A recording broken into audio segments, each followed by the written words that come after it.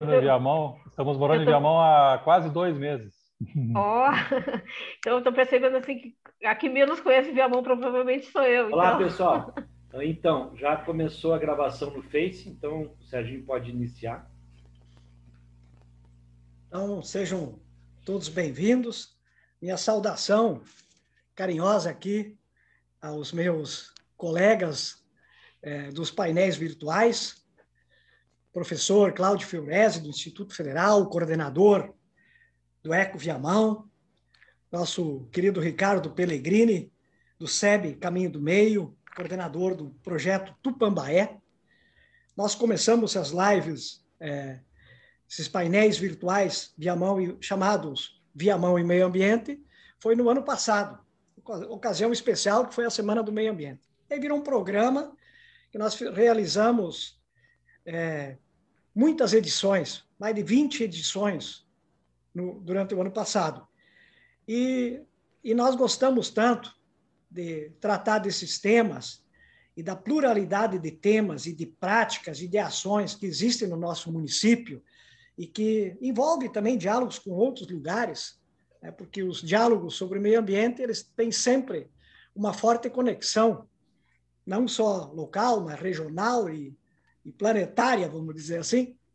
Então, está é, tá sendo muito legal. Esse ano nós começamos com um pouco de história de Viamão, através de uma pesquisa realizada pelo Vitor Ortiz e, e, apoiado por outras pessoas, mas é, foi uma pesquisa sobre os primórdios é, de Viamão, então foi uma base bem legal que a gente discutiu mais de dois séculos aí da nossa história. Depois nós falamos dos, dos butiazais, dessa maravilha que são a cultura e as, e as coisas saborosas que podem derivar do cultivo dos butiazais, dos butiás. Viamão é um, faz parte desse grande bioma onde existem essas, essa planta nativa, essa fruta nativa. Na semana passada, nós fizemos uma, um painel sobre a luta, a experiência e história da Agapan, que completa nesse ano 50 anos, meio século dessa importante entidade de luta e de defesa do, do meio ambiente. E hoje nós vamos tratar de um tema muito importante, que é o projeto de tratamento do esgoto de Viamão. É um projeto que já vem há mais tempo e que é muito importante, porque nós, é, quando a gente olha os arroios é, do, da nossa cidade, aqui os arroios que cortam nossa cidade, como, por exemplo, na São Lucas, na Sicília, o arroio feijó, é, ali está estampada, né? O que é como nós temos lidado com esgoto e com lixo na nossa cidade. Precisamos avançar muito, muito, muito nisso. Nós matamos os nossos arroios, os nossos riachos.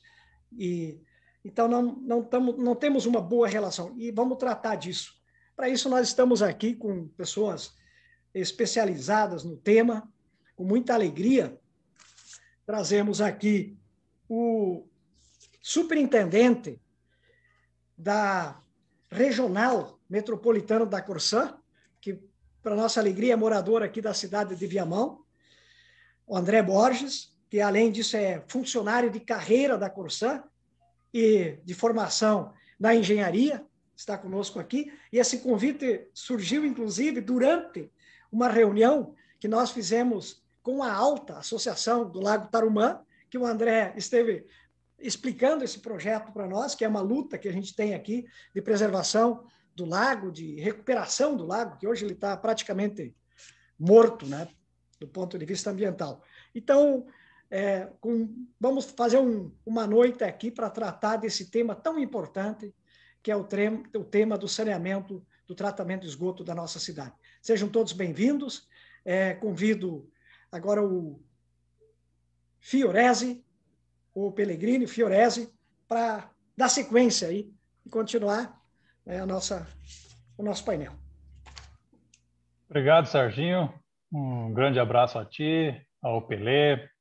Estamos aí compartilhando mais uma quinta-feira dos nossos painéis virtuais, via mão e o seu meio ambiente, o seu rico e problemático meio ambiente, né? E isso é geral, não é um uma característica só de Viamão, né? Mas nós acreditamos muito que o desenvolvimento de Viamão passa pela valorização do seu ativo ambiental, do seu ativo socioambiental, na verdade.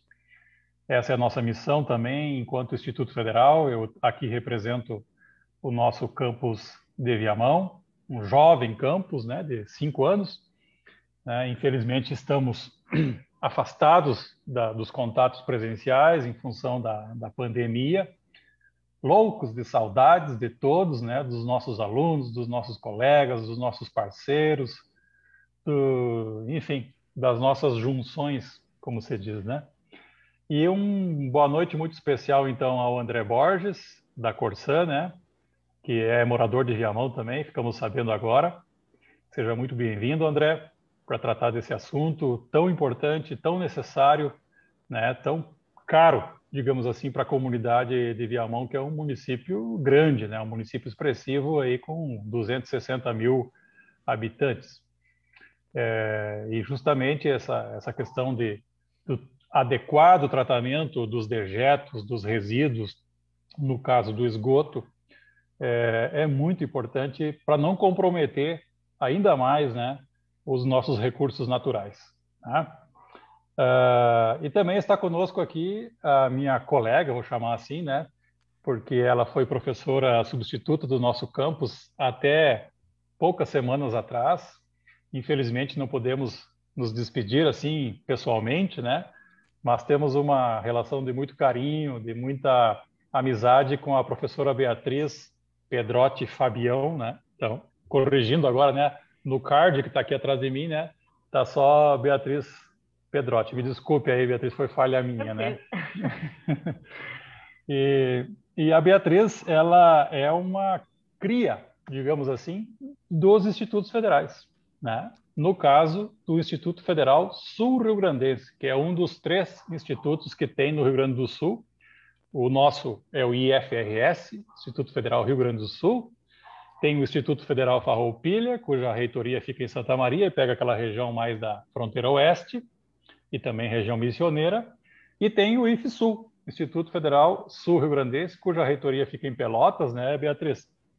E que é, pega a Zona Sul, Campanha, e vem vindo para essa região Centro-Sul, inclusive aqui na região metropolitana também. Então, a Beatriz se formou lá, no IFSUL Campus de Pelotas, se formou em é, Tecnologia de Gestão Ambiental que é um dos nossos cursos aqui em Viamão, né? Nós temos esse curso há dois anos, né, Bia? Há dois anos nós temos três, indo por terceiro ano, o, formando a primeira turma, né? Inclusive estão conosco aqui na sala alguns alunos nossos da, da gestão ambiental. O Carlos é um formando, a Daiane também, Daiane? Ou tu tá um pouco... Bom, não sei. Depois tu fala. tu tá na mesma, no mesmo ritmo do Carlos ou tu tá com um semestre eh, anterior? Bom, e aí a Bia, né, ela então se formou como tecnóloga, depois fez especialização em química ambiental, também no IFSU, né, Bia? Também. Tudo no IFSU.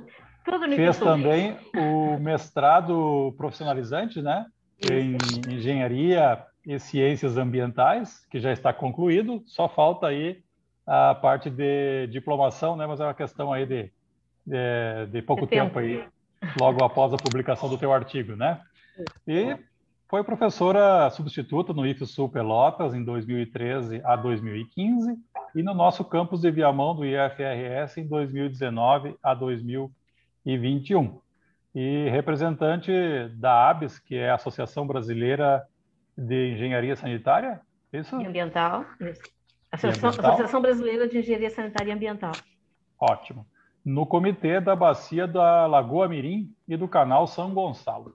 né, que é uma beleza aquela região toda também, né? Estivemos lá faz Bem complexa. dois meses. É complexo. é, porque é uma bacia transfronteiriça, né? Então é bem, Uhum. bem complexa. Bom, então, bem-vindos, né? É, agora vou passar para o Pellegrini fazer a saudação e também apresentar o formato do nosso programa.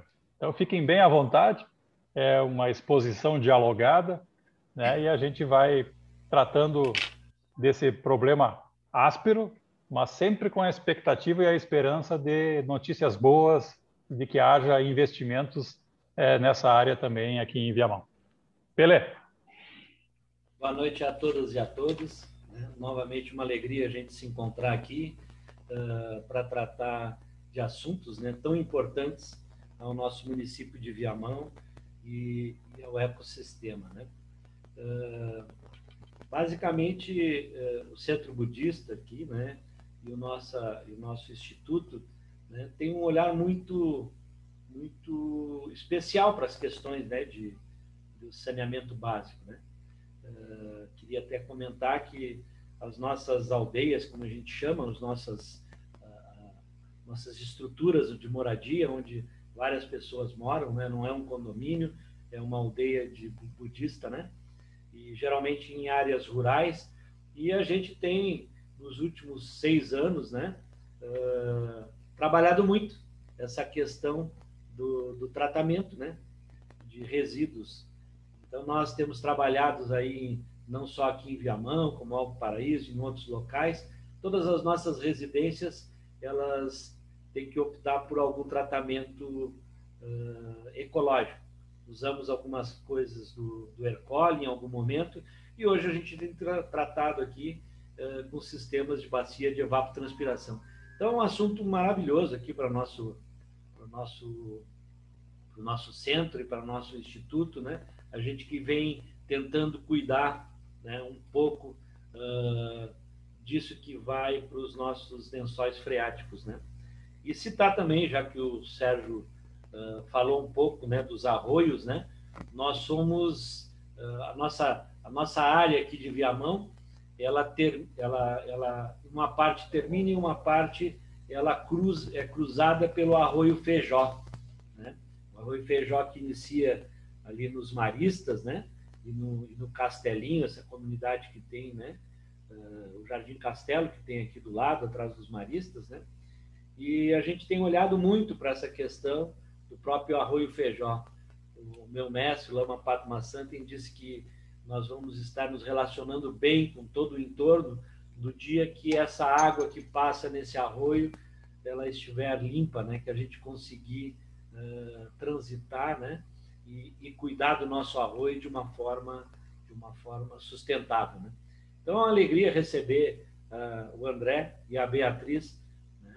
Uh, o formato desse nosso encontro hoje vai ser uma fala do primeiro do André, né? colocando essa questão desse projeto tão importante, e, e depois uma contextualização da Beatriz, e depois nós abrimos, né? Uh, a ideia é sempre uma fala de 10 a 15 minutos de cada um, depois podem os dois interagir, e depois nós vamos aí para as pessoas que podem fazer perguntas e interagir. Nós temos também, para sempre contextualizar aqui, esse, esse nossa live está sendo transmitida, né? Uh, e compartilhada ao mesmo tempo com o Facebook do, do Centro Budista, do, do, do Facebook do Instituto Caminho do Meio, do, do Facebook do, Ecoviamão. Então, sempre vão vir muitas perguntas e questionamentos desse pessoal que acaba entrando por lá, porque também a gente divulga essa live nesses ambientes todos virtuais. Então é um prazer receber vocês e vamos passar para quem entende do assunto, né? E depois a gente vai interagir com vocês. Pelé, se me permite, é, eu acho que o André vai fazer isso, mas só um lembrete, né? Ah, talvez, André, antes de entrar diretamente no projeto, se você puder gastar uns dois minutinhos aí, três, sei lá, o tempo que tu achar necessário, para apresentar a situação atual da questão sanitária de Viamão, né? Alguns números, algumas coisas assim, eu acho que é, é bem importante para todo mundo ter uma ideia, né? Da nossa situação frente a outros municípios ou, enfim, o que tu achar melhor, André, se tu me permite. Tá ok. Primeiro, boa noite a todos, né? Muito obrigado pelo convite. O Serginho me convidou na última, como ele mesmo disse, na última reunião que a gente participou lá da Associação do Lago Tarumã, né? É, eu sou engenheiro na Corsã, sou engenheiro civil de carreira e atualmente, desde 2015, eu sou superintendente regional da região metropolitana. É, nos primeiros anos ali, a região metropolitana, a, a, a Surmet, ela abrangia 21 municípios. Né? Ela ia é, Alvorada Viamão, Cachoeirinha Gravataí, Guaíba Eldorado, aí ela ia pela, pela Costa Doce até Tapes, até Cerro Grande, na verdade, ia pela zona do Carvão até Minas do Leão, pegava aquela zona de charqueadas São Jerônimo e General Câmara, atravessava o, o, o rio e pegava Triunfo. Então, essa era a nossa região. Há, há dois anos atrás, a Corsan é, iniciou mais fortemente o, o, processo da PPP, né, da parceria público-privada dos esgotos da região metropolitana. Essa PPP englobou nove cidades, né, que são Cachoeirinha, Gravataí, Alvorada, Viamão, é, é, Guaíba e Eldorado do Sul, Canoas, Esteio e Sapucaia. Canoas, Esteio e Sapucaia não, não faziam parte da minha superintendência. Elas faziam parte da superintendência dos Sinos. O que, que a Corsã fez? Ela, a Corsã é, redefiniu as, as regionais de forma que a regional metropolitana ficasse só com as nove cidades que fazem parte da PPP do esgoto. Então, a, a nova Surmet, desde o início do ano passado, ela passou a ser essas nove cidades da PPP. E as outras cidades pequenas que eram da Sursim ficaram na Sursim e as pequenas que eram da, Sur, da Surmet, Sursim é, é Sinos, Superintendência Regional dos Sinos, e a MET é metropolitana. Então, todas as grandes que eram da Sursim passaram para a Surmet e as pequenas que eram da Surmet passaram para a Sursim. Então, a Sursim ficou uma grande superintendência em termos de número de cidades e a Surmet ficou uma grande superintendência em termos de economias, número de economias. Então, assim, o Rio Grande do Sul hoje tem em torno de mais ou menos 15% de esgoto coletado e tratado, e a região metropolitana hoje tem em torno de 40%. Né? A, a PPP, o objetivo da PPP é, num, num horizonte de 11 anos, universalizar o esgoto na região metropolitana, nessas nove cidades. Universalizar é chegar aos 87,6% de coleta e tratamento nessas nove cidades da região metropolitana, num horizonte de 11 anos. Para isso, foi feita uma, uma licitação e a ganhadora foi uma empresa do grupo Aegeia, que formou uma SPE, uma Sociedade de, de, de Propósito Específico, chamada Ambiental Metrosul, que assinou o contrato em março do ano passado, apresentou a, a, a, o, os planos de operação é, durante o ano passado, e em setembro do ano passado, né, é, é, iria começar antes, iria começar em junho, mas em, em razão da pandemia, em setembro do ano passado, nós começamos a operação assistida, a operação propriamente dita. O que, que consiste a operação assistida do esgoto? A Metrosul é, e a Corsan operam de forma conjunta. Nos três primeiros meses, setembro, outubro e novembro, a Corsan operava o esgoto, como sempre fez, e a Metrosul assistia à operação. Então, é, com o intuito de aprendizado. Chegou novembro, terminou dezembro, primeiro de dezembro, iniciou a operação assistida, onde a Metrosul operava o esgoto e nós assistíamos. Nós é, dávamos o auxílio, damos o auxílio, porque nós ainda estamos nesse período, né, que vai ser de seis meses, foi de 1 de dezembro a 30 de maio, e em 1 de junho, a Metrosul passa a operar o esgoto sozinha, sem a presença da Corsan. Então, esses seis meses que terminarão no final de maio, a Metrosul ainda opera conosco, né? E a partir dali, então, a Metrosul passa a operar os esgotos de dessas nove cidades de forma sozinha. Né? É, o que, que vai trazer isso daí? O principal objetivo é a despoluição dos sinos e do Gravataí né? são os principais rios que estão entre os dez mais poluídos do Brasil. O principal objetivo é a despoluição desses dois rios, os Sinos e o Gravataí. É, a coleta, claro que não adianta eu, eu coletar e tratar o esgoto dessas nove cidades. Se eu não coletar de Novo Hamburgo, de São Leopoldo, de, das cidades a montante. Então, assim, a gente tem que. que é, é, é um trabalho conjunto, né? Mas a Corsã está fazendo a sua parte nas cidades em que é, são atendidas pela Corsã, essas cidades vão despoluir num universo aí de, num, horizonte de 11 anos, vai estar tá completamente é, universalizado o esgoto nessas cidades. Aí vamos falar especificamente sobre Viamão. As obras aqui de Viamão, elas começaram é, é, através do PAC em 2008 e 2009, né? Foi o governo federal é, é, é, deu um, um, valor muito grande para obras de esgoto. Aí nós nós começamos a, a, aquelas obras em 2008, 2009, 10, 11, né? Mas como é, não se tinha obras de esgoto desde lá atrás, né? É, do, dos, dos, financiamentos, tipo 20 anos atrás, é, não se tinha a, a, a quantidade de projetos e a qualidade nos projetos suficiente para a verba, para a quantidade de dinheiro que o governo federal disponibilizou para as, as empresas estaduais, municipais é, é, é, e, e para fazerem a, a, as redes de esgoto. Então, assim, todo mundo foi meio que pego de surpresa e não tinha aquele acervo de projetos é, suficientes para a quantidade de dinheiro que tinha.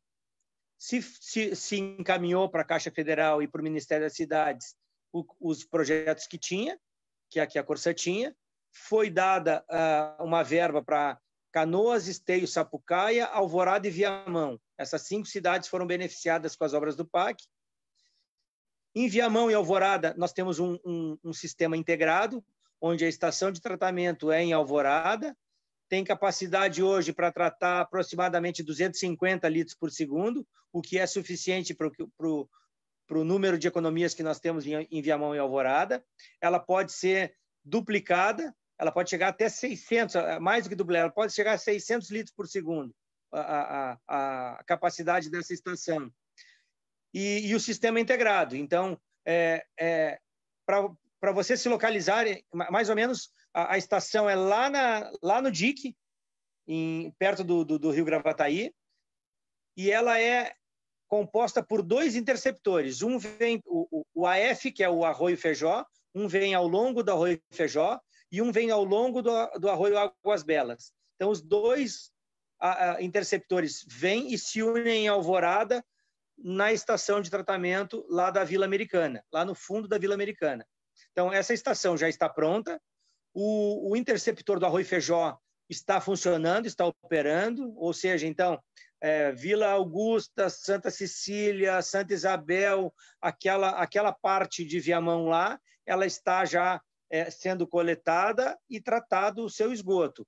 A parte do lado do centro aqui, é, que é o, o, interceptor do Águas Belas, é, existe uma pendência de uma obra, de uma estação é, elevatória lá em Alvorada, que foi licitada, foi ganha, foi assinado o contrato, a empresa começou e abandonou a obra. Chamamos a segunda empresa, a empresa, por questão de é, reenquadramento de preços, readequação de preços, né, que subiram muitos, a, a, a, a alegação deles de não pegar a obra é que os preços aumentaram muito durante a pandemia e os preços de contrato da empresa ganhadora, que seriam os preços que eles teriam que honrar, a segunda colocada, se aceitasse pegar a obra, estavam muito defasados e eles também não quiseram pegar a obra. Então, o que, que a gente está fazendo agora? Ou é, se é, agora a Corsã está fazendo um realinhamento de preço, de orçamento,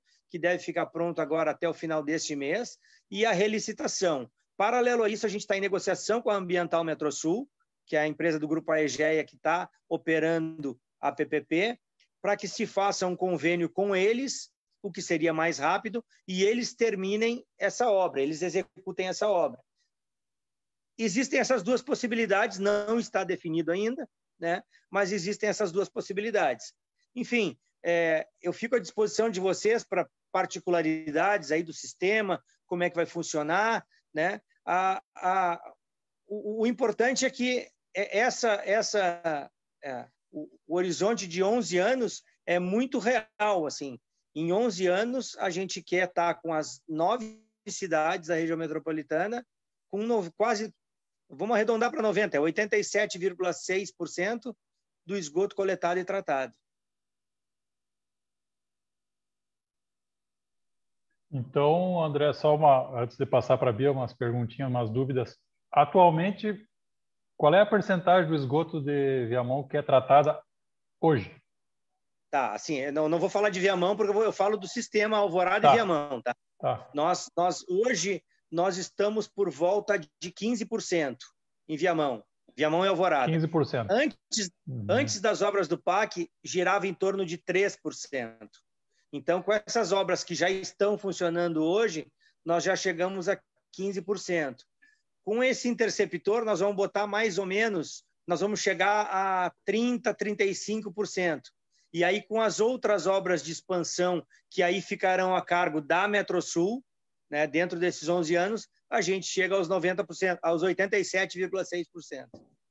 E a estação de tratamento, ou a principal, não sei se vai ter mais que uma, pelo que eu entendi, fica lá embaixo, lá perto do canal do Gravataí, próximo da Freeway, à direita? Isso. À direita da RS 118, assim? Assim, ó, tu pega, não sei se tu conhece Alvorada. Sim. É no fundo da Vila Americana, na última rua, na Estocolmo, entra em direção ao Rio Gravataí, Uhum. No final de tudo, quase lá no DIC, é a estação de tratamento. Certo. E a meta, então, é chegar, só para consolidar as informações, e daqui a 10 anos, 11 anos, é chegar a pelo menos 90% dos esgotos Isso. tratados. Isso. Isso vai significar um investimento de quanto para sair de 3% já, e chegar a 90%, André? Já foram investidos, tá, com as obras do PAC, cerca de 300 milhões nesse sistema, né?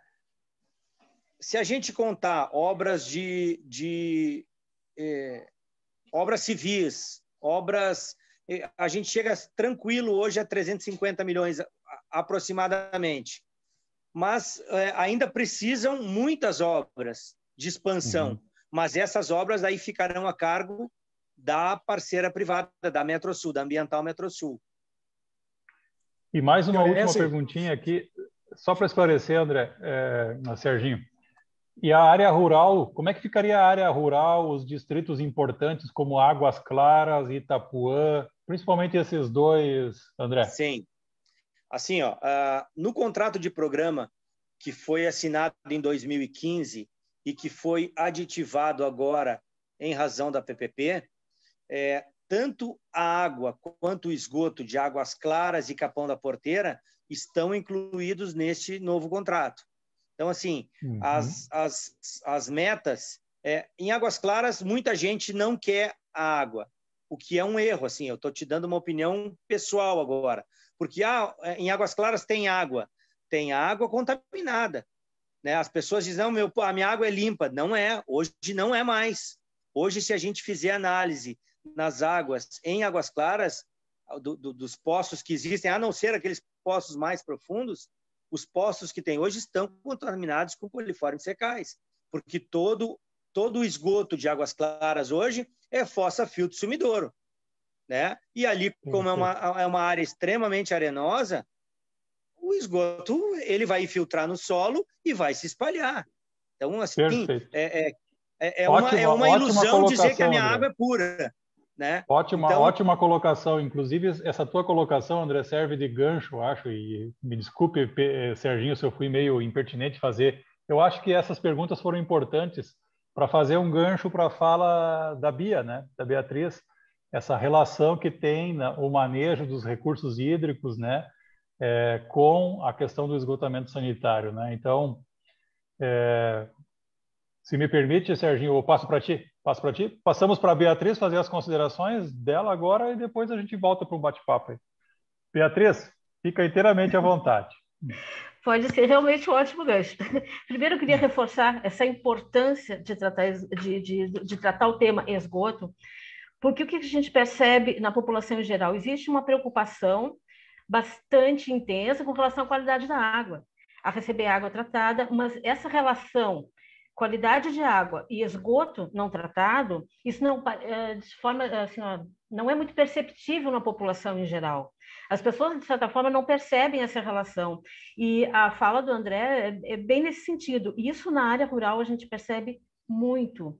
As pessoas têm o hábito de uh, confiar na água de poço, uh, e a gente ouve muito, vê muito, às vezes, uma justificativa de eu pego a água e a água está translúcida, meu copo está limpo. Mas isso não é uma realidade. Uh, eu conheço, embora eu conheça pouco uh, Viamão, uh, o meu cunhado tem um sítio em Águas Claras, e eu, pelo menos a parte onde ele tem o sítio eu conheço, então uh, a densidade demográfica em Águas Claras, até porque os, os sítios nessa região, para mim, são terrenos grandes, eles são pequenos, então, tu tem uma, tu tem uma situação de contaminação do subsolo próxima da, da, da, da região urbanizada porque são populações próximas, terrenos pequenos, com essa infiltração que o, que o André comentou. Uh, quando a gente pensa que esse sistema fossa-sumidouro, uh, fossa-filtro-sumidouro bem operado, ele, ele, ele, trata em torno de 80%, tá? Uh, quando eu digo bem operado, é assim, a manutenção correta, limpeza periódica, papapá, ele não trata 100% desse, desse material, desses coliformes. Isso realmente infiltra no solo, isso vai contaminar o subsolo, vai contaminar as fontes de abastecimento dessas populações e mais. O saneamento nas áreas uh, rurais ele tem um outro fator importante que é a preservação das nascentes, das forma formadoras de rios. Quando a gente pensa em contaminação de uma bacia hidrográfica, seja por esgoto, seja por efluentes industriais, uh, quanto mais no tronco central, vamos imaginar uma árvore, e seus galhos. Quanto mais no tronco central ou mais no início dessa bacia for essa contaminação, mais vai impactar uma área enorme da bacia. Se essa contaminação for mais na ponta do galho, for mais no, no final da bacia, a contaminação é menor. E quando a gente pensa que a, maior parte das, das nascentes que formam os nossos rios, de onde se capta água para abastecimento, estão na zona rural, o, o tratamento de esgotos na zona rural é bastante preocupante, sim. Por outro lado, na área urbana, a gente sabe que uh, ele é necessário, ele é muito necessário porque a, a, contaminação por esgoto doméstico se soma a outras contaminações, né? a, a própria chuva levando, carregando contaminantes da, da, do trânsito, de diversas atividades para o subsolo, isso leva, leva também a uma, a uma potencial contaminação mais grave até, que não é basicamente por matéria orgânica. Outra coisa que preocupa com relação ao tratamento de esgotos, não vou nem uh, insistir na tecla aqui, o professor André já foi bastante claro, o Fiores também falou no início, nós estamos muito atrasados em termos de saneamento. Mas nós, além de estarmos atrasados em termos de saneamento, principalmente na área de esgotos, nós temos que perceber que o nosso esgoto doméstico ele vem mudando ao longo das décadas. Uh, vou fazer uma comparação bem simples que todo mundo vai, vai, vai associar com isso. As características desse esgoto se complexaram. Uh, há 40 anos atrás, quando a gente lavava o cabelo, usava-se o shampoo e o creme rinse. Lembro do creme rinse. Hoje, quantos produtos se usa para tratar o cabelo? Uh, a lavagem de roupas, antigamente, sabão em pó, o amaciante não é tão antigo, mas agora nós temos vários tiras-manchas. Então, eu, onde é que eu quero chegar? Além de estarmos atrasados em termos de tratamento de volume, esse esgoto vem se complexando. E dependendo das características desse esgoto, um tratamento mais básico, mais convencional, às vezes ele não consegue dar conta. Uh, gostaria de, de, acrescentar só mais um ponto também que tem a ver com, com o esgoto, não é o esgoto doméstico, mas está muitas vezes inserido próximo das áreas urbanas, que são os aterros sanitários. O chorume gerado pelos aterros sanitários é altamente contaminante, ele é bem mais contaminante que o esgoto, Uh, e embora exista uma obrigatoriedade do tratamento desse chorume a partir da Política Nacional de Resíduos Sólidos e sua regulamentação, os sistemas mais utilizados são tratamentos biológicos para esse chorume. E os tratamentos biológicos, como o nome diz, removem matéria orgânica e contaminantes biodegradáveis. E o chorume tem muita coisa que não é biodegradável. Que um tratamento uh, biológico não vai fazer nem cosquinha. A gente pode citar metais pesados, a gente pode citar compostos recalcitrantes, uh, compostos uh, de, de, cadeias muito grandes, uh, ácidos fúngicos e úmicos, que são, são, são, São contaminantes que vão parar também nas águas, que vão se, vão se percolar no solo e tem uma complexidade bastante grande. Gostaria de fazer, dar uma, um, os parabéns a essa, essa, essa parceria. Eu, fiquei, eu conheci ela agora, à tarde, lendo né, sobre para me preparar para aula, porque eu não conheço realmente via mão. E eu acho assim, ó, uh, sem a parceria uh, com, a, com a iniciativa privada, é difícil se tratar esgoto, porque é caro. Tratar esgoto é mais caro que tratar água. A rede de captação de esgoto ela é mais cara que a água e ela tem um, um além dela não ser tão uh, além dela não ser a população em geral não perceber isso tão como necess, tanto necessário quanto a água, a população se sente incomodada pelas obras. Então é difícil tratar esgoto porque vai alterar o trânsito, vai esburacar a calçada, vai criar vários problemas que muitas vezes as pessoas, as pessoas uh, se pegam mais nesse, nesse inconveniente do que nos benefícios que vão ser gerados. E um último ponto, eu falo muito, vou parar de falar, que eu não sei quanto eu fiz, mas um último ponto que eu gostaria de salientar é assim, ó, que é algo que a gente percebeu, eu sou natural de Pelotas, acho que o professor André chegou depois, é algo que a gente percebeu uh, em Pelotas quando veio esse projeto financiado pelo governo federal, 2008, 2011, por aí, uh, que foi quando eles levaram a rede de coleta de esgotos para o bairro onde eu morava, a Praia do Laranjal, que não tinha, e houve uma resistência enorme das pessoas, primeiro um desinteresse e depois uma resistência em fazer a ligação. Então, esse é um outro ponto que a gente precisa pensar também. Muitas vezes o esgoto está passando na frente da sua quadra e as pessoas não fazem a ligação. E aí a gente percebeu o quê? Dois fatores. Isso eu percebi, é, experiência própria, conversando com vizinhos. Muitos não dão bola, não acho importante, mas muitas pessoas têm uh, a, a, dificuldade de, uh, do gasto, do custo. Vou dar um exemplo assim, bem típico, desculpa falar de Pelotas, porque é a região que eu conheço, mas vamos pensar para quem conhece, região bem central de Pelotas, casas muito antigas, todas geminadas, e pela época de construção, o banheiro é a última peça da casa. Ele está lá no fundo, é o último imóvel. Uh, então, a resistência desses moradores em quebrar todo o piso da sua casa, porque elas são geminadas, tu não tem uma, né? Até trazer essa ligação para frente, isso é uma dificuldade enorme. Então, eu gostaria que o professor André, se pudesse, eh, comentar um pouco, da, da, da, porque isso necessita campanhas. Óbvio que isso necessita, muitas vezes, um prazo uh, prevendo multa para quem não fizer a ligação, mas precisa ser levado em conta também que muitas pessoas, às vezes, realmente não têm os custos para trazer a sua ligação interna até a frente, porque isso corre, a, corre pelo, pelo, é, pelo proprietário, né? E uma outra coisa que uma outra coisa que eu gostaria, outro ponto só, já vou encerrar, é com relação ao, a esse projeto uh, que aconteceu, que começou em Viamão também nesse período, que também lá houve uma, um, houve uma dúvida. O nome do projeto lá, que estava nas placas, era uh, Construção das Redes Coletoras de Fossas. E o que, que a gente percebeu nas casas, nas residências que fizeram, contrataram serviços de pedreiros para fazer essa ligação? O pessoal estava desligando as fossas, desativando. Eles estavam ligando a sua saída de esgoto diretamente na rede coletora. E aí se criou uma tremenda dúvida. Porque quando o projeto fala em rede coletora de fossas, pressupõe que essa coleta é pós-fossa. Qual é a importância disso? Se eu tenho uma, uma, uma, um esgoto que chega na estação de tratamento, na ETA, pós-fossa, ele já vem pré-tratado. Parte dessa, dessa carga orgânica já foi removida nas fossas. Se eu desligo a fossa, a carga está chegando inteira.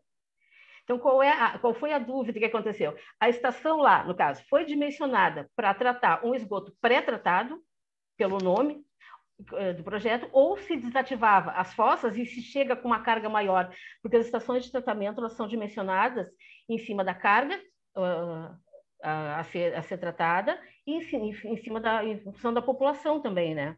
Então houve essa dúvida lá. Excelente essa pergunta. Essa... É Excelente essa tua pergunta. Essa, é, essa dúvida é uma, é uma, dúvida que muita gente tem.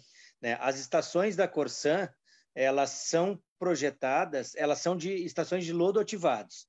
Então, a, é, o esgoto que eu preciso para minha estação é o esgoto sem passar pela fossa. Eu preciso do esgoto sem o pré-tratamento, porque a fossa ela faz um tratamento preliminar. ela não faz nem o tratamento primário, ela faz o uhum. tratamento preliminar.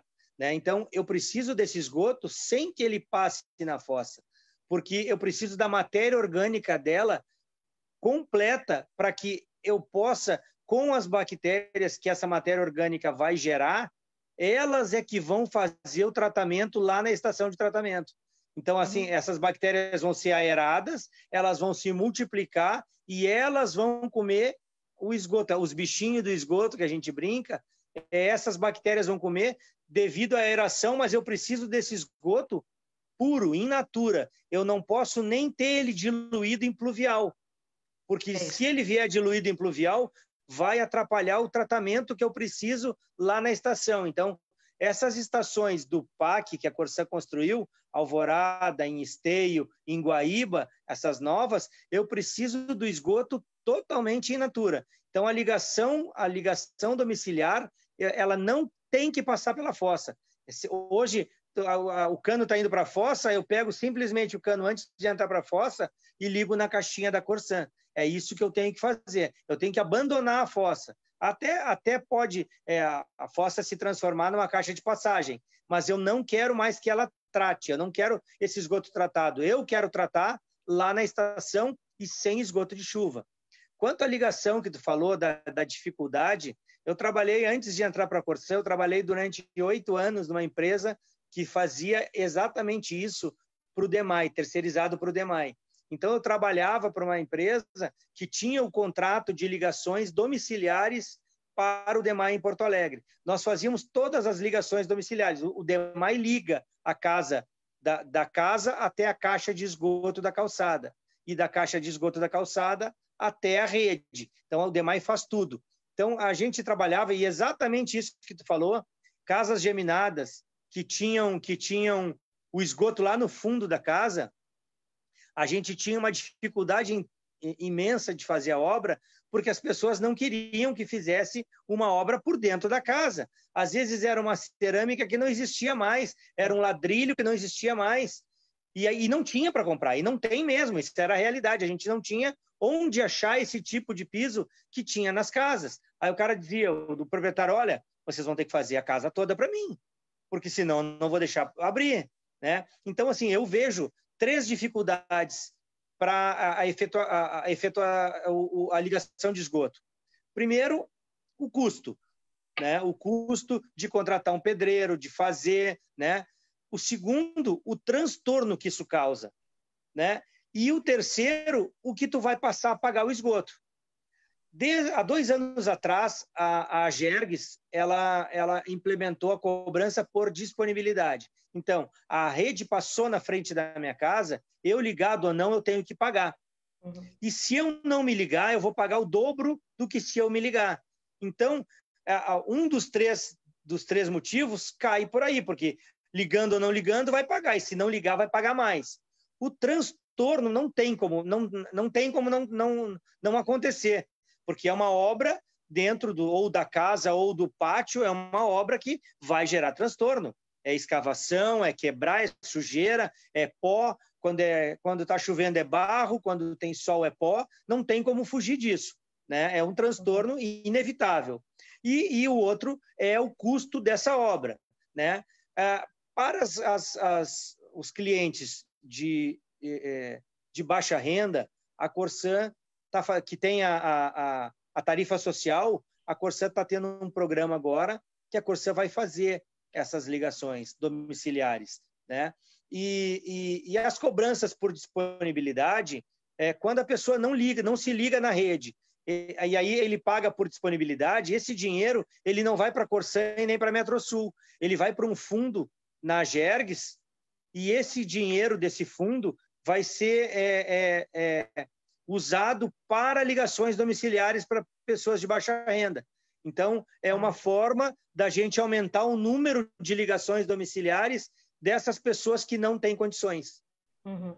É, eu tinha pensado também numa possibilidade, óbvio que isso precisa de uma forte campanha por parte da prefeitura, né? Porque facilita o trabalho da, da, das obras, essa, é, começando por essa, essa campanha. Eu tinha pensado também na possibilidade de algum desconto via IPTU, da prefeitura de forma a incentivar, porque eu acho assim, se não tiver incentivo, uh, mesmo a Corsã fazendo a obra, uh, tem essa, essa, resistência. Então, eu, eu, vejo que essa campanha de conscientização da importância do, da qualidade de vida, associar para as pessoas, via campanhas, a, a, a, a melhoria da qualidade de vida em termos de saúde pública, né, alertar para as principais doenças de veiculação hídrica por esgoto. Eu acho que essa campanha poderia uh, seria talvez uma parceria entre a Corsã e a prefeitura ou a própria prefeitura, porque para a prefeitura isso é interessante. Esgoto tratado reduz procura por postos de saúde, né, que os custos estão a, nas, nas costas as das, prefeituras prefeituras hoje as, as prefeituras hoje elas têm o maior interesse em que em tirar o esgoto local da rede pluvial porque na verdade o esgoto local ele destrói a rede pluvial. O cano, né, que, que, é, que, é, que foi feito para o esgoto pluvial, ele não é para receber aquele tipo de, de componentes que tem o esgoto local. Ele, ele corrói o cano. Então, assim, o cano de esgoto local ele recebe um tratamento posterior ao cano do esgoto pluvial para que possa receber esse esgoto mais agressivo. Então, assim, é total é, interesse dos prefeitos, das prefeituras, tirarem esse esgoto cloacal do, do, das redes pluviais, né? E, e, e, eu acho que agora, agora a Metrosul ela já começou com uma campanha porta a porta, incentivando a ligação domiciliar, né?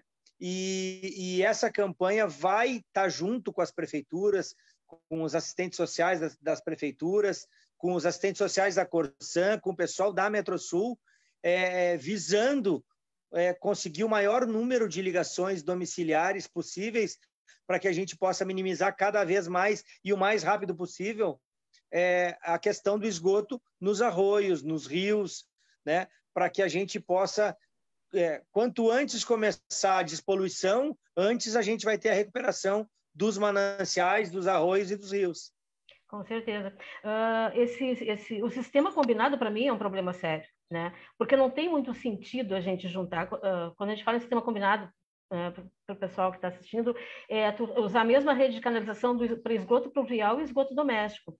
Vamos pensar Uh, em termos de custo de, de, construção, por exemplo, de uma estação de tratamento de esgotos. Se eu trato só o esgoto da cidade, eu dimensiono essa, essa, essa estação de tratamento e todos os seus equipamentos, todas as suas etapas, para aquele volume. Se eu for fazer esse projeto e vou receber também o esgoto pluvial, o, o volume é maior. Então, eu, eu tenho mais gasto na hora de construir ou de adquirir equipamentos de, de tratamento para minha ETE. E tem um outro problema. O sistema pluvial ele é aberto pelas, pelas bocas de lobo, lobo, porque se ele não for aberto, ele não consegue captar água das ruas. Então, se eu tenho, junto, junto com, com, o sistema pluvial, com a drenagem pluvial, eu tenho esgotamento, quando eu tenho aquelas famosas enxurradas que as bocas de lobo não dão conta, eu tenho o retorno desse esgoto para as ruas. Então, a meu ver, esse sistema de, de, combinado ele é muito ultrapassado. Eu sei que alguns países da Europa ainda usam, mas ele é, ele é absurdamente incoerente. E, né? e isso nos causa um prejuízo tremendo né, nas estações de tratamento, porque elas foram dimensionadas para o volume de esgoto cloacal. Né? E isso, a, a, a, gente sabe que muita gente liga o pluvial no cloacal, né? mas, mas o problema é, é, é quando chegam é, sólidos, chega, chega, vocês não têm noção das coisas que chegam nos interceptores na, na, na estação de tratamento.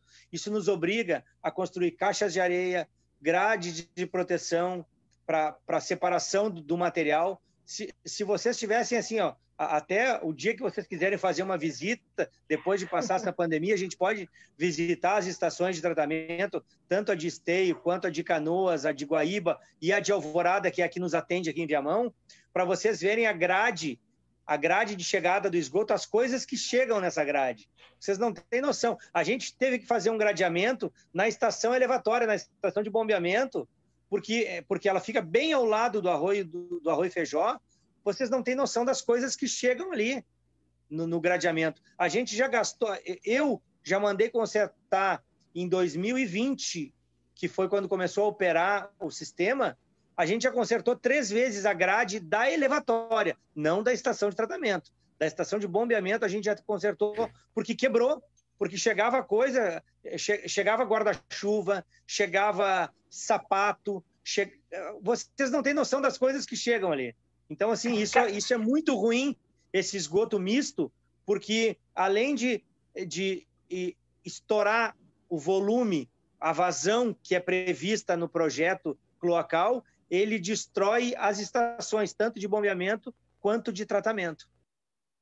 É, por outro lado, se tu tem só o esgoto local, o grande problema é cabelo, né? Que a gente bate bastante.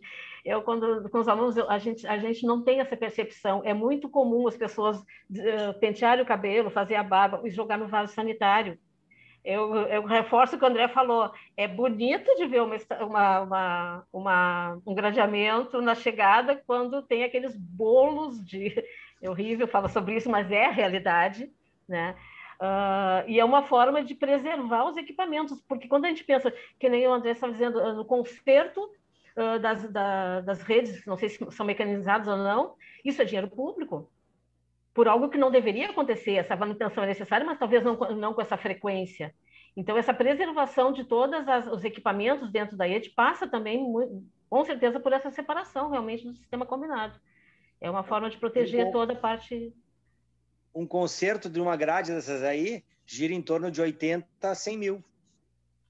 É, é, é muito caro, esses equipamentos são muito caros, né? E, e tem que estar, tá, eles, eles têm que estar tá sempre funcionando. Porque imagina, se não tem isso, isso vai para a bomba. Hum. Porque assim, é, é, o esgoto, 99,9% do esgoto é água. 0,1% são sólidos. Era para ser.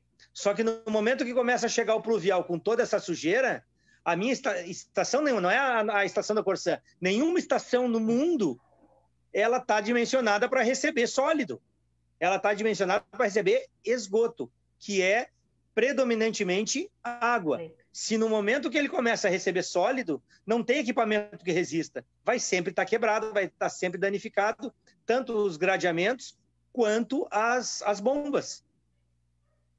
Verdade. Eu acho que o, o debate aqui tá esse diálogo aqui tá fluindo, tá gostoso demais da gente poder acompanhar e ao mesmo tempo vai atiçando a gente em, em muitos aspectos. Por exemplo, eu olho, eu, eu me lembro do Rio dos Sinos, que há pouco tempo teve aquela mortandade de peixes lá, é aquela, aquele caos e tal, mas ao mesmo tempo eu me lembro das nascentes dos sinos, daquelas cachoeiras, aquela maravilha que é isso. Então, é, são aquelas coisas que acontecem pelo comportamento das pessoas que da relação que a sociedade tem com seus mananciais de água, seus rios, seus arroz.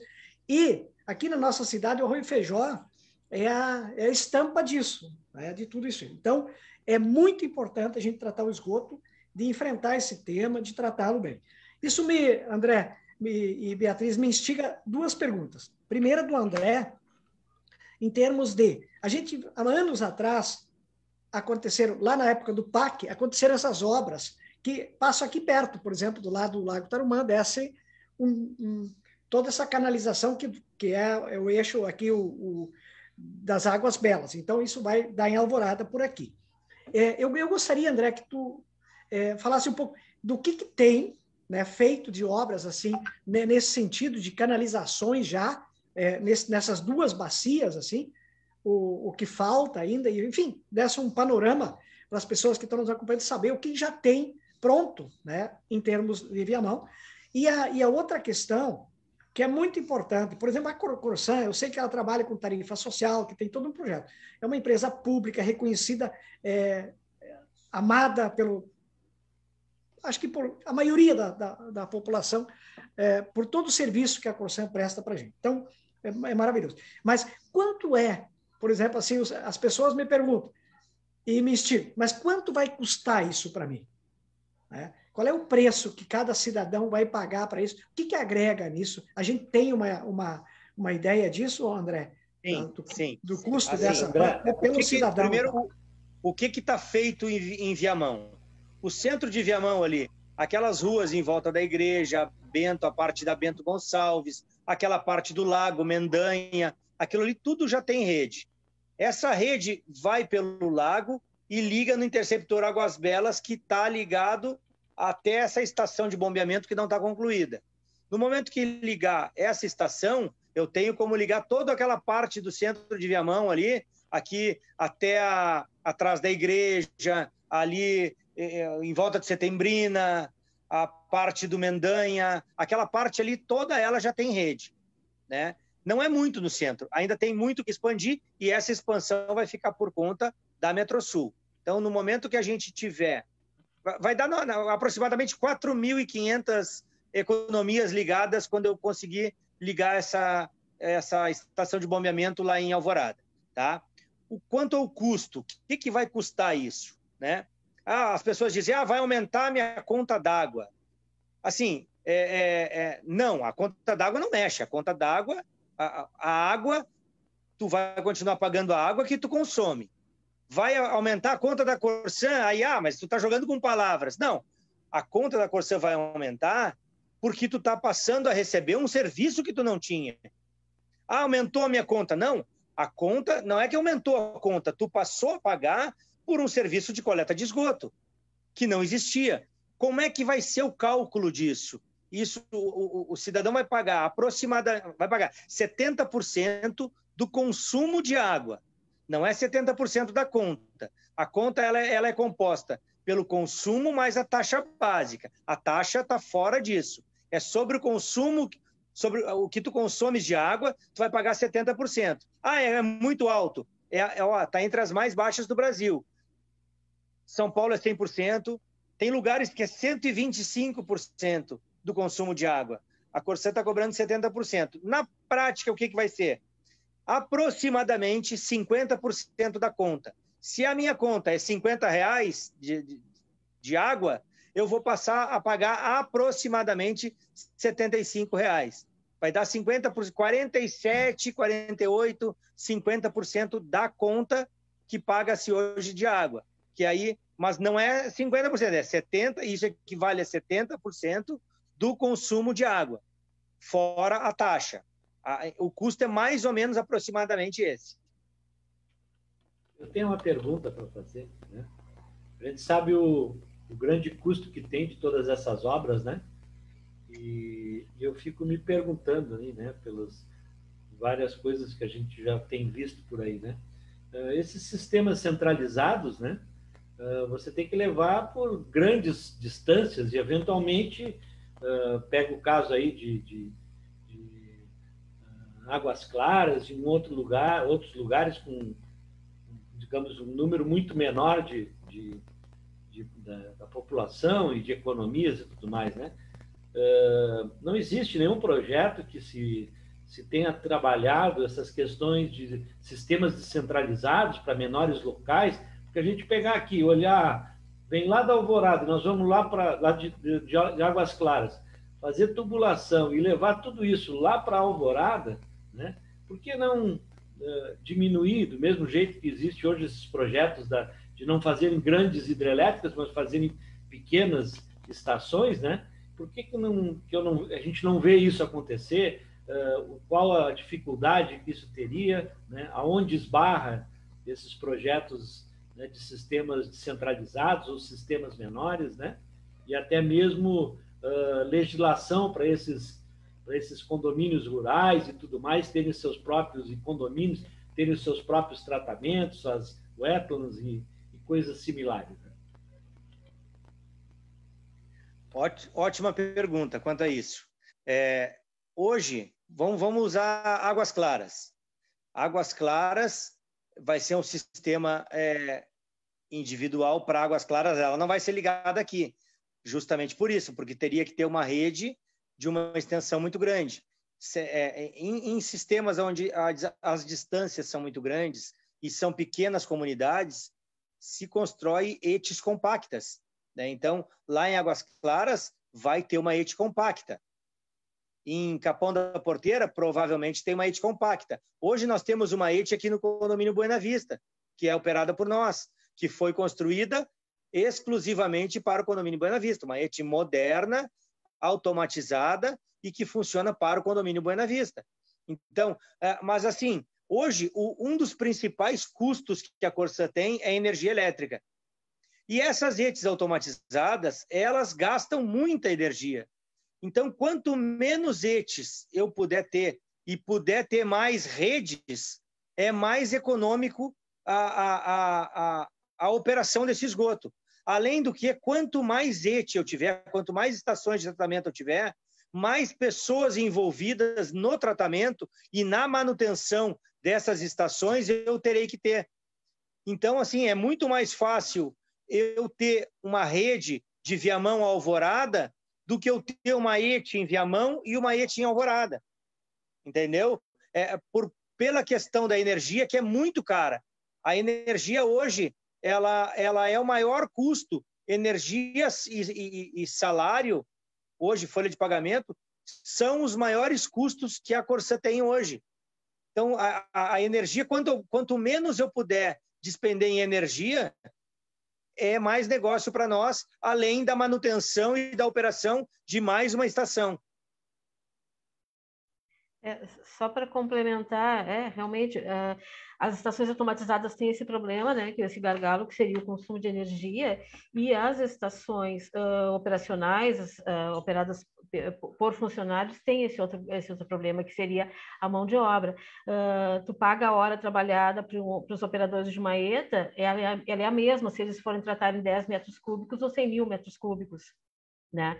A diferença estaria no, dos custos de construção dessa ETA, mas em termos de, de economia de, de, mão de obra, uh, os custos de, de, folha de pagamento, como ele falou, realmente, porque uma estação, o, a, o pessoal que trabalha na estação, ele, para eles tanto faz trabalhar, tratar um volume maior ou menor de esgotos, a diferença vai estar no tamanho, mas quando tu, tu tem isso, isso fragmentado, realmente tu tem esse problema de, dos maiores custos. Uh, eu só queria fazer um comentário com relação às PCHs, é que é uma situação um pouco diferente. Assim, ó, uh, por que, que as PCHs estão surgindo com tanta força no, no, no, no país? Porque os nossos grandes recursos hídricos, capazes de comportar aquelas mega uh, centrais, centrais hidrelétricas, eles já foram praticamente todos comprometidos. A gente não tem mais rios suficientes com capacidade de construção de, e de e de operar com esse grande volume de água. Então, a alternativa agora para se ampliar a rede de, rede de hidrelétrica seriam as que utilizam menores vazões. Tá? Então, é, é uma situação um pouco diferente. A gente já tem os grandes, os grandes rios comprometidos, então a nossa capacidade de construção de mega hidrelétricas já está um pouco limitada com relação a isso.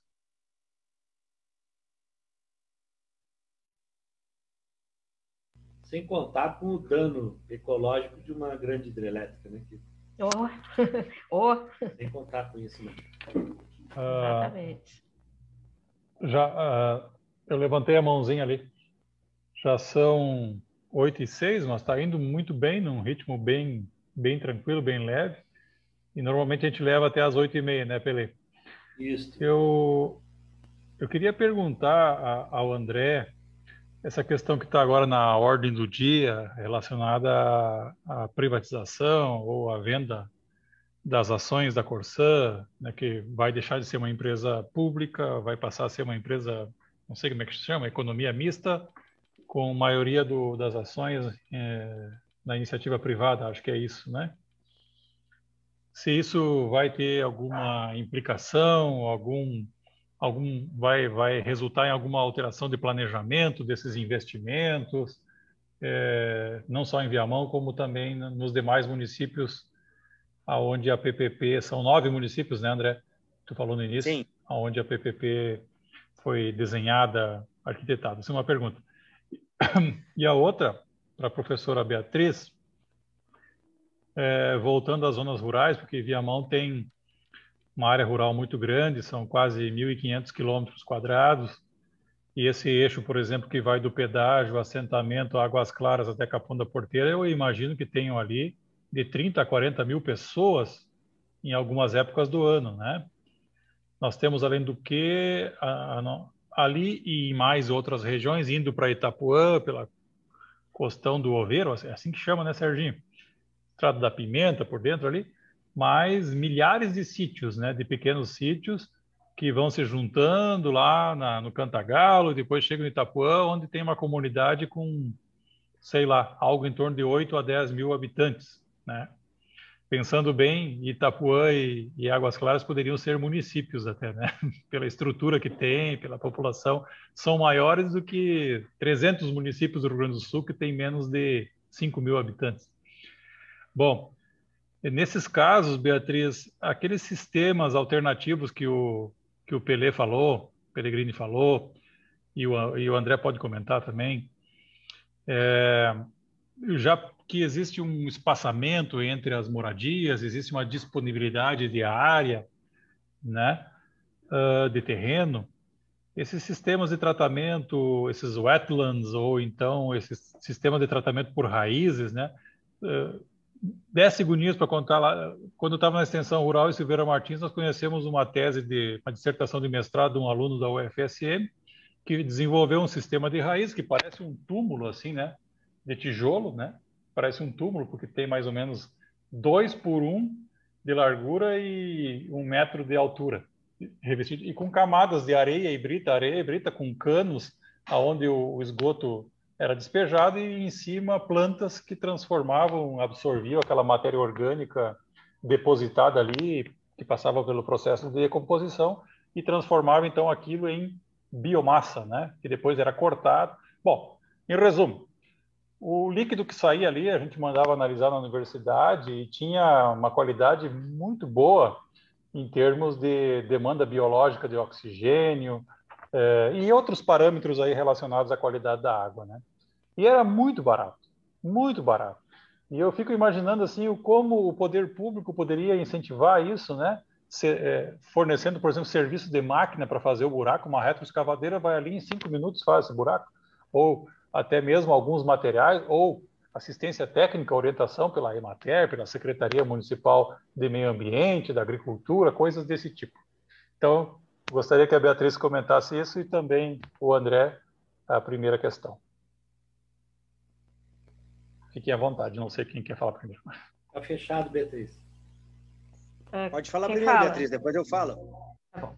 É, é realmente, o problema da zona rural é os custos para se implantar uma rede de coleta porque é muitas, muitas, muitas metragens de tubulação com as propriedades muito afastadas, então realmente a gente sabe que os custos dificultam, não é, não é, é associado a isso que realmente o a coleta e tratamento de esgotos na área rural é infinitamente menor que nas áreas urbanas. Mas é possível viável e muito barato realmente se fazer esse tratamento na, nas propriedades. Quando uh, predominam moradores, uh, a coisa é mais simples. Quando são sítios de lazer, ela é um pouco mais complexa, mesmo quando se pensa só no sistema de fossa, filtro, sumidouro. Por quê? Se é um sítio de lazer, que ele não é frequentemente utilizado, ele passa três, quatro meses sem ser utilizado, toda essa biota é presente na fossa, esses micro-organismos que o André comentou, eles morrem. Microorganismo sem comida ele não trabalha. Então, quando tu chega para passar 15 dias no sítio, a tua fossa não está operacionada. Não tem microorganismos ali tratando. Isso tem um tempinho, né? Uh, já quando são, predominam moradores na área rural, isso é muito mais fácil, porque tu tem alimentação constante de matéria orgânica e nutrientes para esses micro-organismos poderem tratar o meu, o meu efluente, o meu esgoto. Então, uh, o, o, ideal quando tem um sistema, uh, sítios onde tem moradores e tem, uh, são sítios só de, de turismo, de, de ocupados sazonalmente, o ideal é que se faça conjuntos de tratamento. Pega três, quatro vizinhos, um é morador, o outro não é, e trata, de, trata em conjunto. constrói um wetlands, agora eu explico um pouquinho mais, que trate, que receba esgoto dessas três propriedades, porque se determinado, determinado momento um domicílio não está gerando esgoto, tem os outros, para manter esse aporte de, de, de biomassa, de, de, micro, de micro-organismos para tratar essa fossa. No sistema individualizado, uh, os wetlands, nada, uh, esse sistema, uh, wetlands são uh, conhecidos por sistema de raízes, banhados construídos, eles têm várias, várias nomenclaturas, mas o que se firmou mesmo são os são wetlands, tá? Que eles nada mais são do que banhados artificiais porque é proibido se usar banhado né, para tratar esgoto, e eles imitam os processos de degradação da, dos, matéria, da matéria orgânica, dos contaminantes, que acontecem naturalmente nos banhados, nas zonas de filtragem que estão banhados. Tá? Uh, por que, que, ele, eh, por que, que ele imita? Porque eles são construções simples, baratas, mas eles têm um controle de todas as variáveis para mim atingir um grau de eficiência, um grau de remoção uh, muito alto. Uh, eles são tanques que podem ser construídos de alvenaria, uh, eles podem ser construídos simplesmente escavados no solo, impermeabilizado com uma geomembrana. Eu posso usar caixas de, caixas d'água como sistema, como, como tanques de tratamento. Uh, e a operação, o funcionamento deles nada mais é do que eu tenho toda a minha carga de poluentes presente no esgoto, atravessando essa zona de raízes e sendo absorvido esse material pelas plantas, esses contaminantes. Uh, os wetlands, por trabalharem com plantas, eles têm uma vantagem em cima dos outros processos biológicos, que é a remoção de nitrogênio e fósforo. Porque nitrogênio e fósforo não é muito bem removido pelos micro-organismos, não, não na mesma quantidade que matéria orgânica. Mas plantas, elas precisam de nitrogênio e fósforo nos seus, nos seus processos de crescimento. Então, é isso que acontece dentro do étano. Eu tenho um sistema impermeabilizado, onde eu não tenho infiltração no solo, então não tenho contaminação da, da, do lençol freático das águas subterrâneas, e o meu o esgoto é forçado a atravessar toda essa camada e ele vai sendo absorvido. Matéria orgânica, nitrogênio e fósforo, vai sendo absorvido pelas plantas pelo próprio, próprio processo de crescimento dela. Tanto que a manutenção desses wetlands é basicamente poda. Simplesmente se poda de, de tempos em tempos essas plantas, porque é na fase do crescimento que as plantas mais vão retirar esses nutrientes do tratamento. A eficiência de tratamento delas é mais alta na fase de crescimento, quando elas mais vão remover esses nutrientes. E tem um outra, um outro, uma outra grande vantagem com relação aos wetlands, é que eles removem, eles eles imobilizam, eles removem, de certa forma, não somente os nutrientes necessários para as plantas, eles removem metais pesados, removem por adsorção.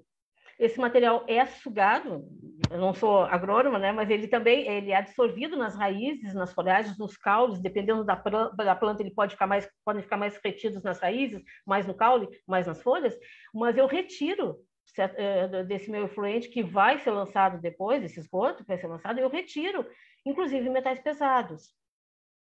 Por ser barato, por ser de fácil construção, eu acho que as, as prefeituras, as, os órgãos ambientais das cidades poderiam dar esse aporte realmente para as áreas rurais, porque é uma forma de uh, evitar a contaminação do solo tem a ver com saúde pública dessas populações, melhorar a qualidade de água, do, de abastecimento delas quando se, se é, é proveniente de poços, proteger os córregos e as nascentes dessas regiões que formam essa bacia hidrográfica, que depois a gente vai captar água para os grandes centros populacionais.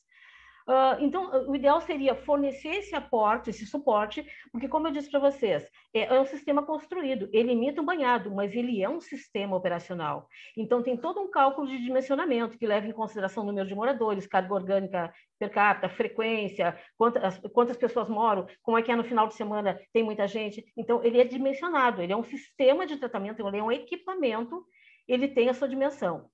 E dá para jogar com várias variáveis, então depende muito, várias variáveis é bonito, depende muito das características do local, porque eu posso, uh, uh, as variáveis que eu posso uh, utilizar para atingir um grau de eficiência elevado seriam, primeiro, dimensionamento, em função da vazão, da carga orgânica, eu posso trabalhar com tipos de macrófitas de plantas enraizadas diferentes, eu posso trabalhar com camada suporte que é onde dá sustentação para o crescimento das raízes diferentes, com maior ou menor granulometria. Eu controlo o tempo de detenção, o tempo de tratamento dentro desse sistema pelo tamanho dele. Então, eu consigo, eu consigo no projeto, se eu, se eu acho que ele precisa ficar uh, três dias de tratamento ou 24 horas, eu, isso, esse controle eu tenho pela construção. E, embora seja um sistema muito barato, muito simples de construir, ele precisa de um projeto. Então, nesse sentido, precisaria um aporte dos órgãos públicos junto às comunidades rurais, através de associações de moradores, de, de paróquias, pegar as características dessas populações, dessas, dessas, desses domicílios, e fazer esses projetos e prestar uma assessoria na hora da construção e da manutenção. Repito, a manutenção nada mais é do que uma poda sazonal e periódica dessas plantas e substituição de alguma muda. Só para finalizar, para não parecer que é um sistema muito artesanal, ele é muito pouco usado no Brasil ainda, tá? Mas vem crescendo. A partir desde a década de 80 ele vem crescendo bastante. Mas na Europa ele é muito utilizado, inclusive, para tratar influentes industriais. Nós temos um sistema, para citar um exemplo, nós temos um sistema de wetlands bem grande, não sei dizer agora o dimensionamento para vocês, mas é, é bem grande, seria um quarteirão, eles são, são vários, são tanques paralelos, uh, construídos na Josapar, em Pelotas para tratar o efluente da produção de arroz. A, a empresa tem toda uma estação de tratamento de, de efluentes, né, padrão, e ela construiu esse, esse sistema de wetlands como finalização, como um polimento desse efluente, justamente pelo problema da, de fósforo e nitrogênio que o esgoto, uh, o efluente da produção de beneficiamento de arroz ele tem muito fósforo e nitrogênio. Esse problema é similar aos nossos esgotos, né? O nosso esgoto tem muito fósforo e nitrogênio. Então, todo aquele fósforo nitrogênio que tem é, tem uma remoção limite para os processos eh, por micro, microorganismos, ele é compensado, ele é uh, somado a essa remoção pelas plantas, porque fósforo nitrogênio é tudo que a planta precisa para crescer. Então, seria interessante, não é caro realmente, seria, mas isso, assim, ó, o pequeno produtor, o produtor rural, ele pode muitas vezes ouvir, na internet e constrói, mas em função de não ter os parâmetros de projeto, ele pode construir pequeno e não tratar o suficiente, porque o, tempo de tratamento, o tempo de detenção hidráulica é muito rápido, então não consegue remover com a, com a eficiência esperada, ou pode supradimensionar, uh, construir um sistema muito grande, onde a utilização normal, produção normal de esgoto e das águas domésticas não é suficiente para manter esse sistema sempre uh, alagado e vai, ter uma, vai levar à morte das, das plantas né, que iriam tratar. Uh, é um sistema seguro, tá? Uh, antes que o pessoal diga assim, ah, vou ter um, um, alagamento, ele não gera odores e ele não tem problema com vetores de com relação a insetos, porque nos parâmetros de, de dimensionamento, quando a gente faz projeto, em função da vazão, a lâmina d'água é sempre sub, ela, ela, ela fica abaixo da camada de brita, então eu não tenho lâmina d'água, não tenho proliferação de, de insetos e nem de maus odores, porque é um sistema aeróbico. É um sistema aeróbico, tá? Porque as plantas muito, com muito é, é, plantas levam oxigênio para dentro do. É tanta vantagem, né, Beatriz? É Além de todas essas que tu citou, a outra é que serve como um instrumento de educação ambiental, né? Porque tu vê ali todo o ciclo, né, da natureza sendo cumprido, né? Uh, enfim, uh, o André, né, ficou com, com, com, a, com a pergunta. André, só para complementar, é, as pessoas serão obrigadas, elas vão ter um prazo, por exemplo, quem tem é, o famoso poço negro, fossa séptica, né? É, ele, na época, não existia oferta de serviços, 10 anos atrás, 15, 20, 30 anos atrás, e fizeram o tal de poço negro, fossa séptica, né? E essas pessoas, elas podem querer não ligar na rede de esgoto sanitário, ou vai ser dado um prazo? Como é que vai funcionar isso? E tu disse que a cobrança vai ser uma percentagem do consumo de água. É, eu não, não sei bem, mas existe uma camada da população, né, Serginho, que paga a tarifa social e ali é só uma tarifa básica, não, não vai o consumo, né, André? Não sei como é que é isso. Me explica um pouquinho. Não, não, como é que fica é, é para esse é, público? Sim. O, o, que paga a tarifa social é considerado 10 metros de consumo, 10 metros cúbicos de consumo mês. Então, ele vai pagar em cima da tarifa social. Né? Então, assim, é, é, tu me perguntou se, ele, se, se o pessoal vai ser obrigado ou não. Não, ninguém é obrigado. A gente não tem poder de polícia. Só que ele vai passar a pagar pela disponibilidade.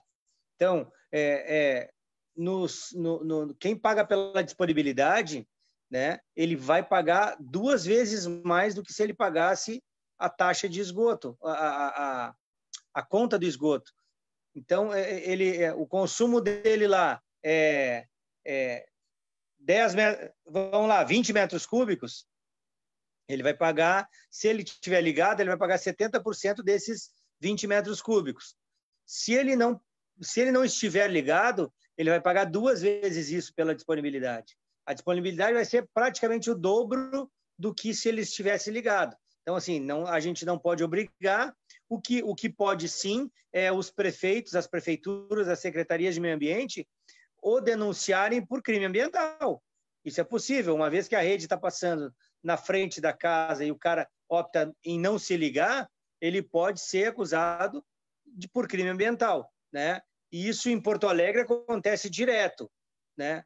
E nós aqui na Corsã ainda não acontece porque está muito recente isso. A, a, as pessoas que foram notificadas a, a, fazer a ligação, elas ainda muitas ainda estão dentro do prazo né? que é dado, se não me engano, são 120 dias para fazer a vistoria e fazer a ligação. Então, assim, a pessoa não é obrigada, mas a pessoa vai pagar mais caro se não se ligar. Não sei se eu te respondi.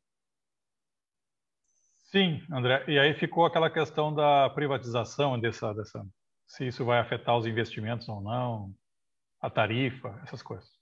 Assim, a, a, vamos falar sobre a privatização quanto à PPP. A PPP é um, é um contrato assinado com a Corsan, independente quem for o controlador acionista da Corsan, a PPP vai seguir pelos 35 anos pelo qual ela foi assinada, né? Então não vai mudar nada.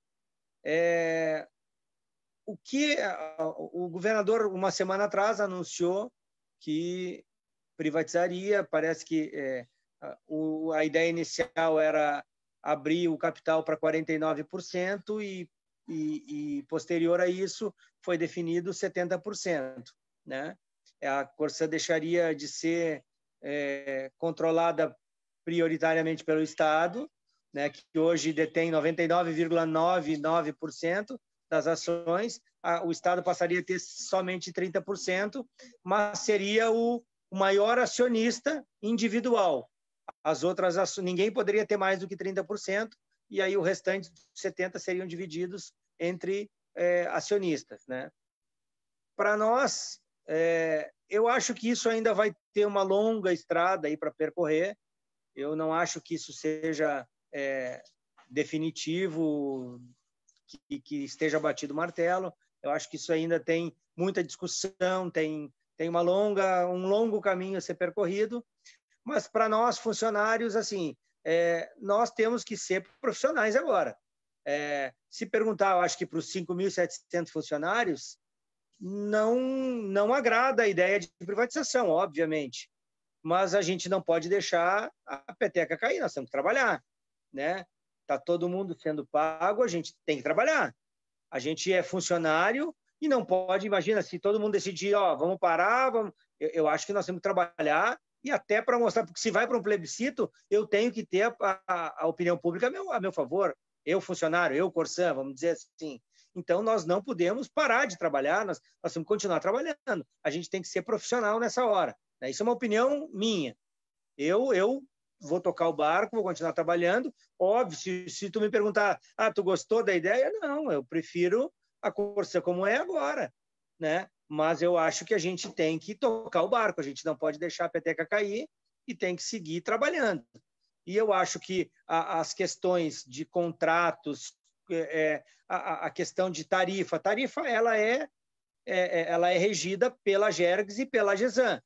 Então, não é a Corsã que define a tarifa a tarifa é estabelecida pelas reguladoras, né? Então eu acho que isso não não vai haver modificação num primeiro momento, né? Mas assim, para te falar mais concreto, a gente não tem a, a, a, informação, a gente não sabe o que, que vai acontecer, como é que vai acontecer, é tudo muito novo, faz uma semana do anúncio, então a gente está meio que, está é, é tá todo mundo, está tá muito nebuloso a história ainda, a gente não sabe como é, como é que vai ser, é, é, o que que vai ser, quem, quem serão os, né? Isso é uma coisa que está muito dúbia ainda para a gente.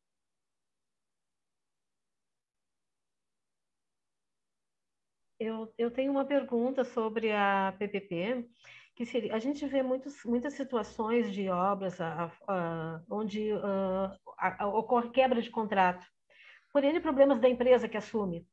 Uh, a minha preocupação é essa. Uh, a partir do momento que a Corsã fez o treinamento e se retirou da, da, da, parte da operacional das ETs e a empresa assume, se futuramente houver algum problema com a empresa e ela quebre o contrato, pare de prestar o serviço, a Corsã tem condições de reassumir imediatamente a operação dessa ET, porque é um sistema que não tem como parar, é impossível de parar. Sim, tem.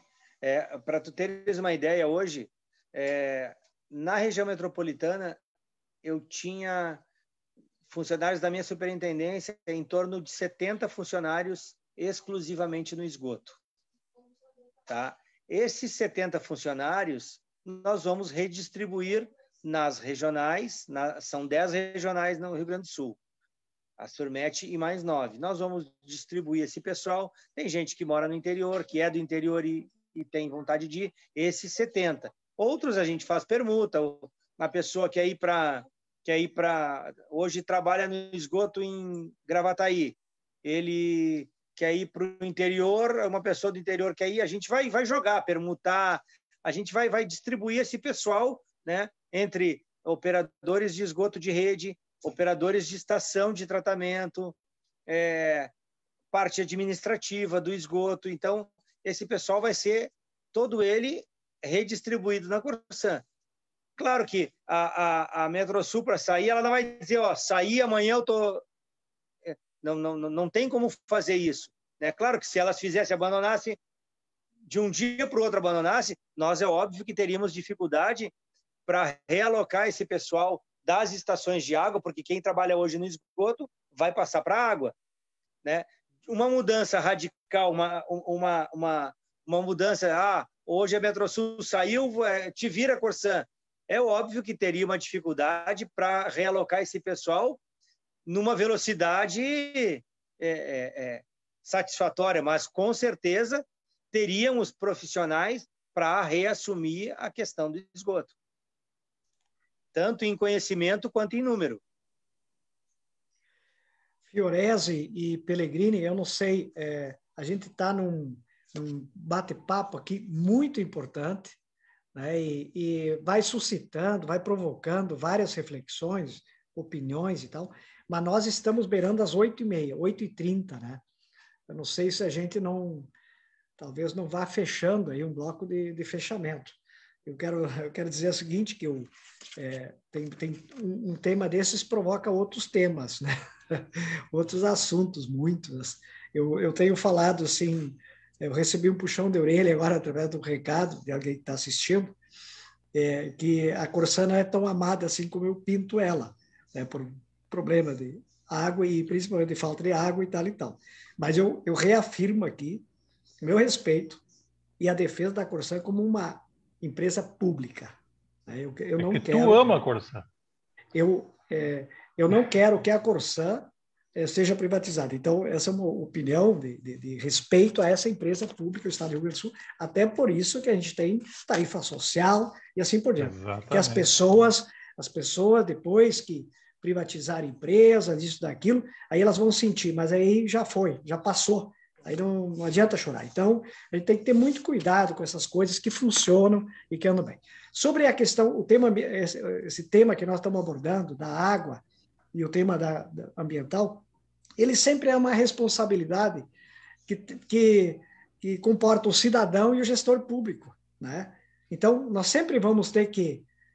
Tem, tem coisas que são do cidadão, aquele guarda-chuva, ele não vai chegar lá nessa estação de tratamento se não for jogado por alguém. Então, é, essas coisas. O Rio do Sino não está poluído assim, porque a nascente não são assim. A natureza não é assim. Ele vem maravilhosa. Então, é sempre é muito importante que tenhamos campanhas efetivas de educação ambiental, de compromisso com a natureza, como parte dela, isso que a gente vem falando todas as, as nossas nossos painéis, é, que tenha um programa com a, a coleta seletiva, a coleta é, regular, a coleta seletiva e uma efetiva fiscalização. Não é só os arroios que estão assim, mas é, quem vai pelo caminho do meio está vendo aquele, aqueles portais da vergonha caminho do meio, aqui na frente do autódromo, em tudo que é lugar, em tudo que é via. Então, eu acho que tem uma dívida com o meio ambiente, que é do cidadão, mas muito também do poder público, de induzir essas coisas, de tomar iniciativas e de fazer com que as pessoas é, passem a respeitar mais o nosso espaço. Então, só queria fechar isso e com muita gratidão a Beatriz, Fabião, que participou aqui, muito com boas ideias, luzes para além do que a gente enxerga no cotidiano, porque ela estuda esses temas, ela reflete sobre isso. O André Borges, nosso cidadão de Viamão aqui, que está é, gerenciando essa regional aqui, né, com esse, essa responsabilidade, com essa tarefa gigantesca aqui. Nossa gratidão, então, pela participação, reconhecimento aqui pelo trabalho que vocês fazem. Eu não sei se, se o André gostaria de dar uma palavra final, uma finalização, e a própria Beatriz querem deixar algum recado que depois a gente passa para o Fiores fazer o fechamento aí da live. Eu gostaria só de agradecer o convite, é, de me botar à disposição de vocês aí, né? o Serginho tem meu contato. A hora que vocês precisarem conversar sobre outros assuntos da Corsã, sobre a, a nova ETA que a gente vai, vai iniciar a obra agora em seguida lá em Itapuã, a captação subaquática do Lami, é o sistema que vai ser maravilhoso, que vai nos deixar independente de Alvorada. A Viamão vai, vai produzir o, o que consome. A, a hora que vocês precisarem de nós aí para conversar um pouquinho sobre a Corsã, até é, é, é, é, ouvir algumas reclamações, que a gente sabe que a gente tem problemas, né? E, e não escondemos isso. A gente está à disposição de vocês sempre. O que vocês precisarem de nós aí é, é ligar, a gente combina e, e a gente participa aí nas quintas-feiras, a hora que vocês quiserem, que precisarem de nós. Tá ótimo. Eu agradecer, André, a tua participação, né? A Beatriz, claro. Beatriz, tem as tuas considerações finais, desculpe. Então, rapidamente, eu só gostaria de, de, de, reforçar aquilo que poucas pessoas que não, não interagem com essa área percebem, é que os compartimentos ambientais se comunicam. Não existe poluição do solo que não vá contaminar a água, não existe poluição atmosférica que não vá contaminar a água e o solo. Toda vez que chove, a gente lava a poluição atmosférica e traz esses contaminantes para solo e água. Uh, não tem qualidade de água sem tratamento de esgoto. Porque se hoje a gente paga uma taxa pelo tratamento, pelo tratamento, não pelo consumo, pelo tratamento de água e acha cara, à medida que a qualidade dessa água for piorando, esse tratamento vai se intensificando e os custos se alteram. É o que eu sempre digo, tratar esgoto para tornar água eh, tornar o esgoto em água potável é possível? É, mas isso tem um custo. Então, preservar o meio ambiente, evitar a contaminação, tratar esgoto, apesar dos, dos, da incomodação que, que, que tem, é, esburacar rua, interferir trânsito, a gente sabe disso, mas é um bem público. É, isso reverte em, em, qualidade de vida, em saúde pública, e isso é muito importante. E, e reforçar de novo, tudo, a poluição, ela sempre se, uh, ela se move pelos compartimentos ambientais, não existe contaminação isolada, tá? E a água, pelas suas características químicas, transporta quase todos os tipos de contaminantes. Era isso. Muito obrigada pelo convite. Me coloque na minha disposição se precisar, Legal. se Bom. tiver interesse. Obrigada. Sim. Ótimo, Beatriz. Ótimo, André. Muito obrigado pelas grandes contribuições, pelos aportes aí de conhecimentos, né? Conhecimentos aplicados, práticos, relacionados a projetos e conhecimentos mais teóricos, científicos, acadêmicos, são coisas que se complementam, né? E, então ficamos muito, fel muito felizes assim com a participação de vocês, bastante objetiva, né, Serginho e Pelé.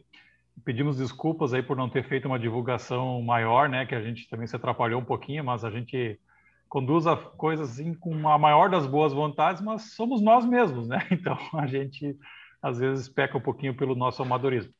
Mas essa live vai ficar registrada ali no, no, nas páginas do Facebook que já foram comentadas, no YouTube.